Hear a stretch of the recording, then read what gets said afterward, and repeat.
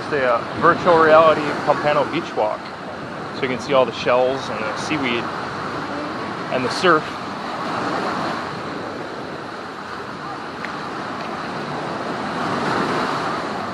And how the water trickles down out of the sand. You see that? That's very cool.